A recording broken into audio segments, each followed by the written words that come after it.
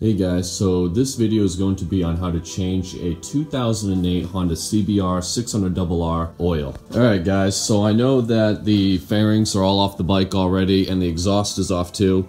I'm currently in the process of upgrading my exhaust. But I just wanted to kind of show you because I figured this would be a great time for me to film everything. If you don't know how to take the fairings off, uh, there's other videos on how to do that. This is simply just to show you where to put the wrench on to do the oil. Maybe if you've never done an oil change before, this might give you some information on how to do it. So let's go over some of the things you're gonna need. I use Rotella T6 oil, 5W40.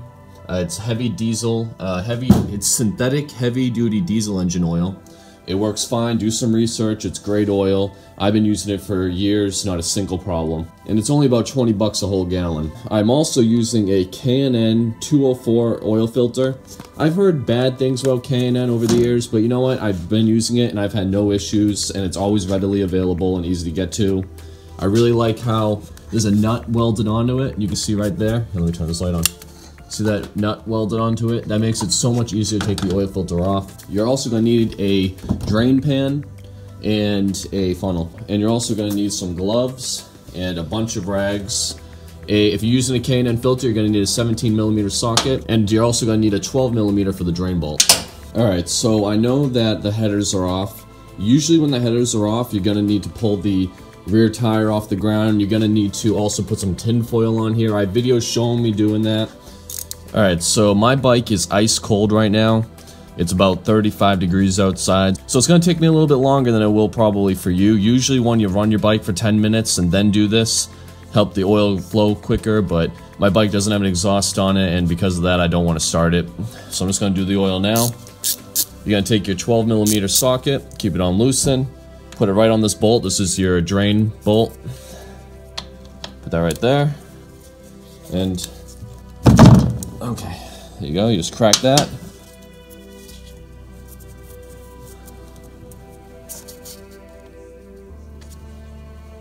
Alright, now as you can see, that's flowing pretty slowly. So people ask when's a good time to do your oil, and usually I say go by the manual. However, the manual says do it every 8,000 miles after the initial 600 mile break-in. I don't think that's a good thing. I think that you should do it every 3,000 miles or twice a year. I do it twice a year, 3,000 miles, whichever comes first. Usually I do it in the end of the year and the beginning of the year. Um, but that's what it kind of ends up doing. Everybody has a different oil thing. Um, this is just what I do. You can take it with a grain of salt. You could take it as the Bible. I really don't care. This is just how I do it. So again, because the bike's cold, this is going to take a long time. In fact, I'm going to walk away from this for about 10 minutes and then I'm going to come back and then it should be pretty much good to go. Alright, so we're gonna, this is still going, but I want to get this off now. This is the oil filter. It has the nut on it. I'm gonna try to take it off by hand first, but I did tighten it with the nut a little bit, so I think I'm gonna have to use the 17 millimeter socket. But real quick, I'm gonna try by hand first. Now I'm gonna try by hand, but I don't think it'll work. Alright, so we're to go ahead and take this off. We got our 17 millimeter socket. And doing it by hand, it's wicked. It's really tough. So I'm just to use this. Put that right on there like this. And you crack it. Crack it off. Now, you want to lift up your sleeve. Don't want to get my jacket all oily. So now once that's um, loosened with the wrench, you can just take it by hand. And you can see the oil's already dripping down. Now again, if you had headers, the headers would go underneath here and oil would get all over them.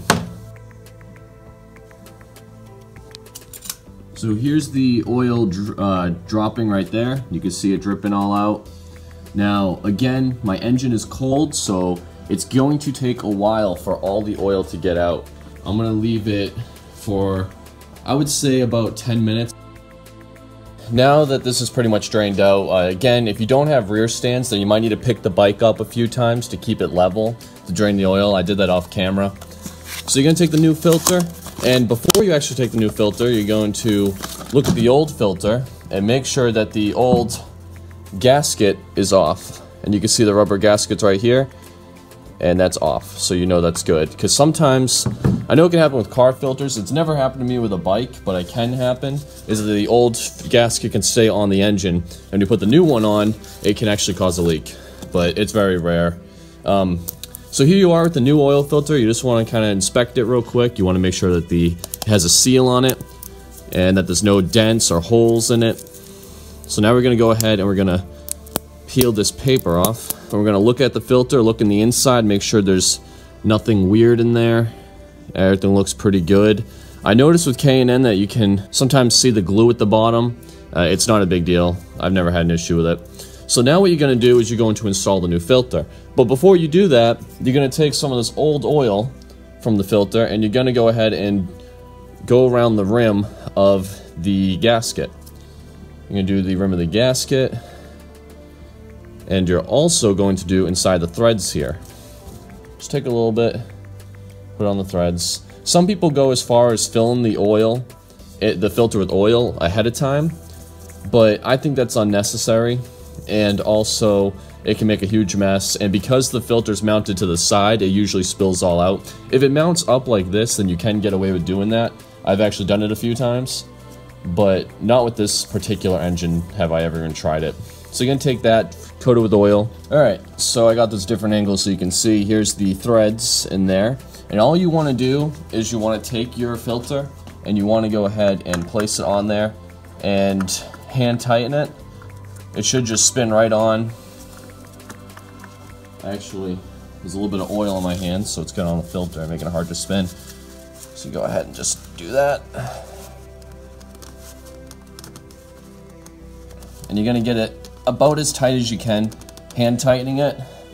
And what I do, and this is controversial, so you do your own research and decide what you want to do. Um, but I go ahead and I put the socket on and I turn it a quarter of a turn. Now, some people say that that causes a leak right here. Never happened to me, so this is what I do. But again, your mileage may vary. You do what you do want to do. This is at your own risk. I'm going to do this. I know this controversy. Do some research. So I'm to go ahead and put that on there. And I'm on Tighten. And I'm just going to tighten it up that much. Half a turn. And now when I try to take it off by hand, I can't. It's too tight. You don't need to go crazy. It's, it's an oil filter. It'll be fine. And that's all you got to do. So now you're to take the old drain bolt. You can coat the threads with oil if you want. Uh, there is a washer on here. They say to replace it. I never do. I just leave it on there. But here's the hole right there. And I'm to go ahead and thread this in by hand. Now you're to take your 12 millimeter. And you got to be really careful. If you strip this bolt, you are to have a big problem. Your wrench, put it right on there. And you're just going to turn it until it gets tight. Okay, so now we're want to add the oil. I got my Rotella T6 here. You can use Mobil 1 4T racing oil. I used to use that, but it's 10 bucks a quart. So you're looking at $30 versus $20. So if the 10 bucks is worth it to you, you can do that. To me, this is perfectly good stuff. I'm going to use this.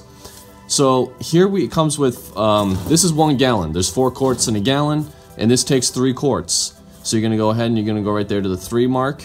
And remember, this is liters on this side, quarts on this side. It already has four, so you want to make sure that you enter enough in until it hits one quart remaining at the bottom there. So now we're going to go ahead and take off our oil cap, the oil filler cap. Should just be hand tightened on. Pull it off. Alright guys, so you're just going to fill the oil up. Uh, it's three quarts. Uh, once you have it filled up, you're going to want to check the level.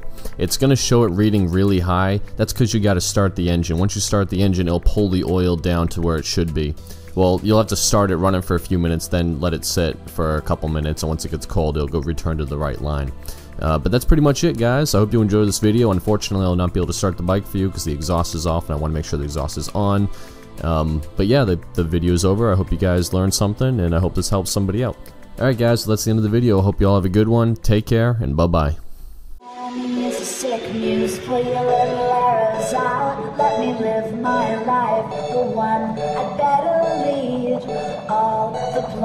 of fantasies and we looked at them eleven ways. You said, look at me, I looked away and you wrote the song I wanna play alright.